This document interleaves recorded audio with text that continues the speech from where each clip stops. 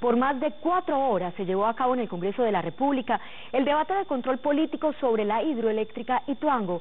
Los congresistas citantes afirman que se deben unir para salvar la empresa, pero primero deben conocer la verdad. Carlos Poveda, muy buenas noches. Pues muy sencillo, señores. EPM tenía la obligación legal, no lo digo yo, lo dice la ley, de tener un plan de contingencia que también contemplara el daño colateral.